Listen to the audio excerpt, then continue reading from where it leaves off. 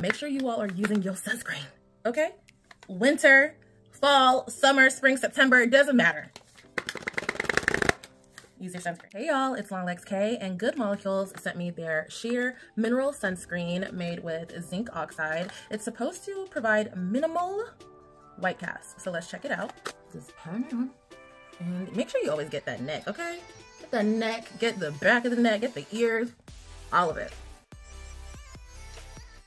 While you can see some white cast, it is pretty minimal, you know, compared to the side with just moisturizer, but it still has somewhat of a white cast. Let me do my entire face and makeup and that's when I'm really gonna see if this is the sunscreen for me. This is my finished look using the Good Molecules Sheer Mineral Sunscreen. Even with that minimal white cast, I don't really, you know, see that it interfered with my makeup that much. Let me know um, what you think, if there are other sunscreens you would like me to try.